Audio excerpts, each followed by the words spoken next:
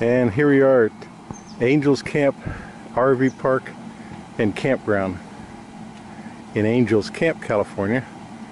Site 33. Let's take a walk and I'll show you what they provide. It's gravel space. It's hot and dry country, so there's not a whole lot of landscaping.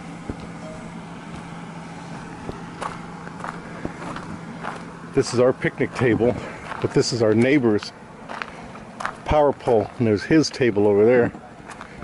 Each site has a nice steel campfire pit. Oh, I can't tell you how many times I see people. They actually lay their food right on this thing to cook. They might brush it a little bit with a barbecue brush, but the truth is, I've seen birds and uh, squirrels get up on these grates and do unmentionable things. So it's best practices to lay down some aluminum foil. Again, now this is a pull-through site, as you can see, and it's pretty good size. Uh, I have room to park my Jeep behind the motorhome and in front of the motorhome. So there's plenty of length in this one. Uh, I think she said this one's 65 foot space. So here's my pole over here. Got all my utilities. Now I like to throw my hoses and my extra cable into the, in case somebody comes walking through here. I don't want a bunch of coils of stuff. People tripping and falling on this rock and splitting their head open. Although it uh, might be pretty funny. Of course right there, that wouldn't feel too good on your forehead. And uh, I got a dump. I'm in a habit. I, I, hook up as I'm breaking camp, getting ready to head out. I, I don't let on. I don't set it up.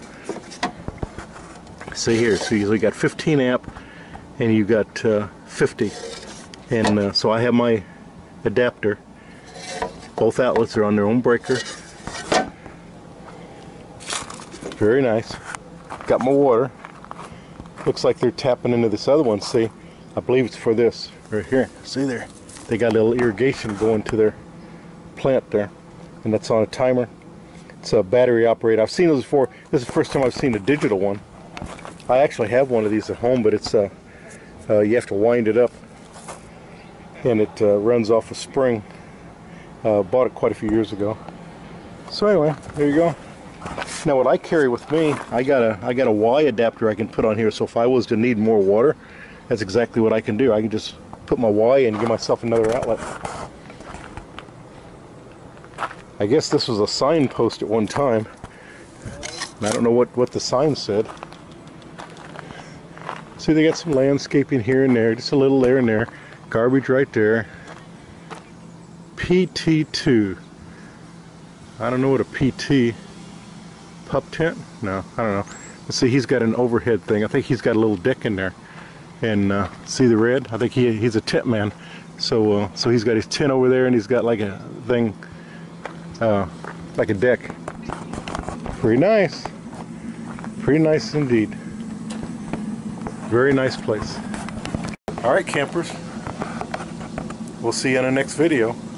Glad to have you along.